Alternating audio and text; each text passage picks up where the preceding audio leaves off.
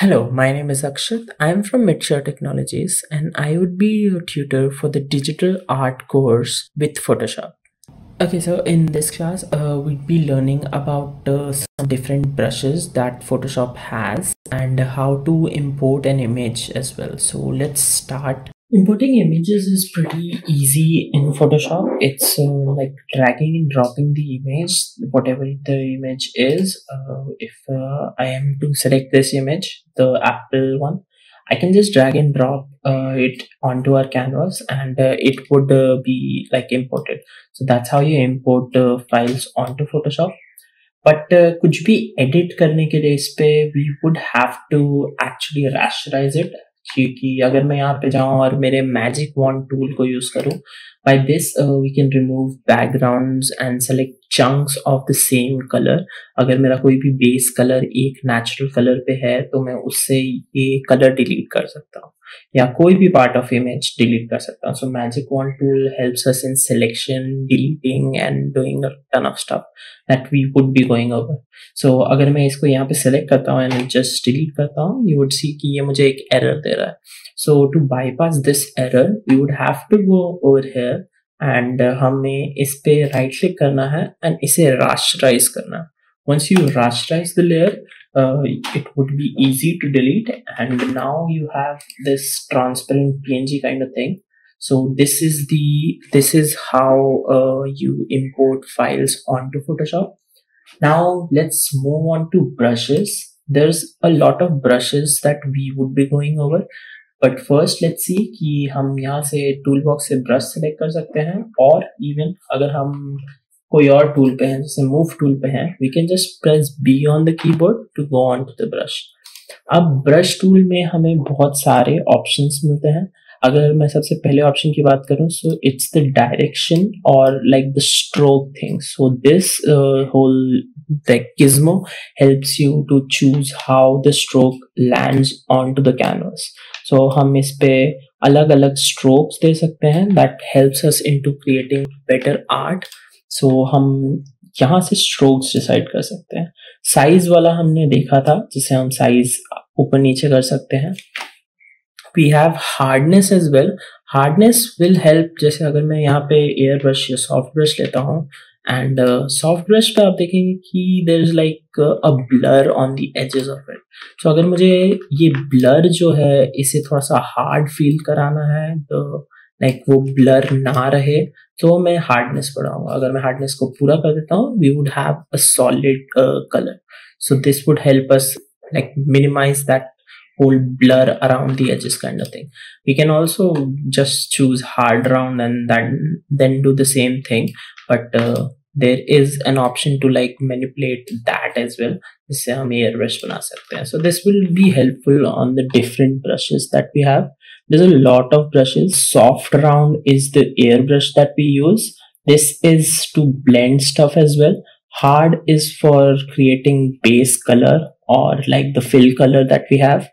and there's a lot of pencil brushes as well this will help you into creating the outlines of the stuff Like like, मैं अगर आपको दिखाऊँ तो हम देख सकते हैं कि इसमें एक इफ़ेक्ट आ रहा है। लाइक like, एक टेक्सचर वाली फील आ रही है वो पेंसिल वाली। सो so, इससे हम आगे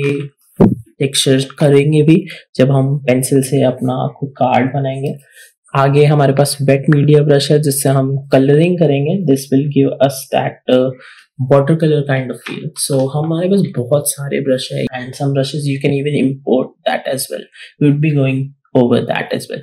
but अगर मैं मेरे ब्रश वाले टैग में जाऊँ on the tool bar and इसे राइट क्लिक करता हूँ वी कैन सी कि हमारे पास यहाँ पे चार ऑप्शन है, जिसमें से मेन हमारा ब्रश टूल होता है एंड मिक्सर टूल होता है। Let's go over why these two are very important so अगर मेरे ब्रश टूल में जाता हूँ and let's just select red colour या सो अगर मेरे ब्रश टूल में जाता हूँ एंड रेड कलर लेता हूँ and just paint this red I would also suggest की there is also one more shortcut that you can use हम हमारे लेयर पे अगर सेलेक्ट करते हैं यहाँ पे we can just like if you control and select on the layer हमारा आउटलाइन सेलेक्ट होगा so whatever we do will stay in that outline so this is how you like stay inside the layer and not go in the background if you have like a transparent kind सो इससे मेरे को help मिलेगी if I just colour the red thing so this this is how you can colour in Photoshop अगर मैं मेरे इस पे पूरा रेड दे देता हूँ. So this is how you can like create base colours और like fill colour for it मैं पूरे उस पर नहीं दूँगा बिकॉज़ मैं अभी आपको दिखाऊँगा how to mix as well so the mix brush अगर मैं यहाँ पे एक हल्का सा हाईलाइट देता हूँ। एंड जस्ट लाइक एक और बेस कलर यहाँ पे दे देते हैं। हल्का सा इधर पे। एंड थोड़ा सा डार्क जो है, उसे ऑन दी एजेस दे देता हूँ। Like this this is not shading I am just telling you how to like blend stuff so we would be going over shading as well in the next classes but this is to understand how brush is actually work so अब जब मेरा brush यहाँ पे mixer brush select होगा and I just like mix on to this make sure कि जो भी colour आपने किया हो वो एक ही लेयर पे होगा, अगर वो दो लेयर पे होगा it won't mix so after doing that if you do this you can see कि वो जो डार्क पार्ट है हमारा, वो मिक्स होके हमारे रेड पार्ट पे भी आ गया है। So it's giving that depth onto it अगर आप देखें so just अगर मैं उसको बस normal stroking करता हूँ so it would provide us with that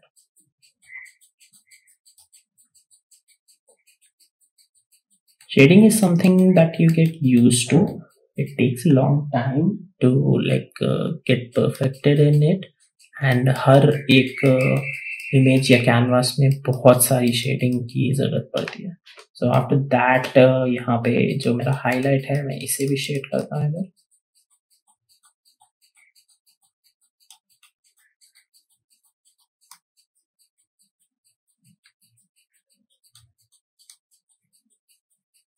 सी कि वो जो आउटलाइन थे, वो भी शेड हो रहे हैं। But this is just demonstrate कि हमारा शेडिंग या मेजर ब्रश करता है